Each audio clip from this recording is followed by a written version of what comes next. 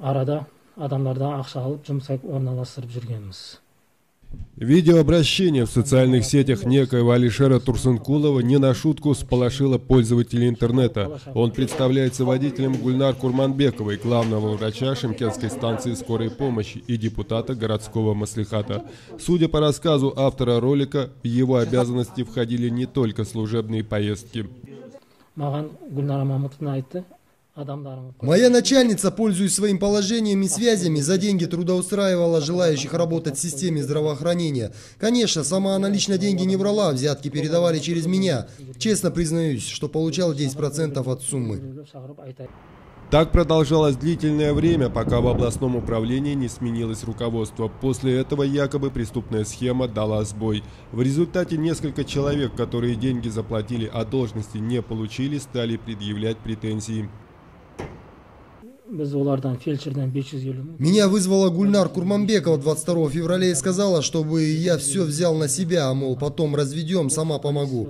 Начала мне угрожать, меня позже уволили задним числом. Теперь она от меня отрекается, я вынужден скрываться сам и прятать всю свою семью, так как опасаюсь за их безопасность. Мне остается только просить помощи у КНБ, ведь у нее везде свои люди.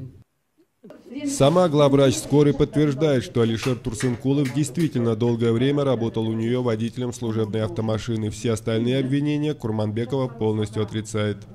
Ну, сейчас, наверное, рановато комментировать, потому что правоохранительные органы, органдар жұмыс жасап да?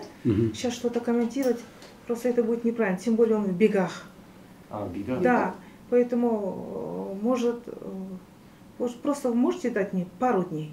просто сейчас жоқ сіз қазір өз пікіріңізді айтсаңызшы нет өз пікірімді айтамын ғой просто мен следствиеға не буду нет мы еще к ним отсюда мы обратимся в бегах дейсіз в бегах откуда узнали что он в бегах ну потому что он не появляется потому что он прячется и не бар адамдар таппай полиции сообщили что на алишера турсункулова возбуждено уголовное дело на него заявили двое пострадавших. По данному делу на Алишера Турсункулова заведено уголовное дело по статье мошенничества. Заявители честно признают, что платили деньги, надеясь на трудоустройство, однако ничего не получили. Я ему дал деньги 550 тысяч, он обещал моего родственника устроить на работу, а теперь скрывается. Полицейские, ссылаясь на тайну следствия, пока не комментируют другие обстоятельства дела. Сам Алишер Турсункулов после своего видеообращения на связь не выходит. Его местонахождение неизвестно.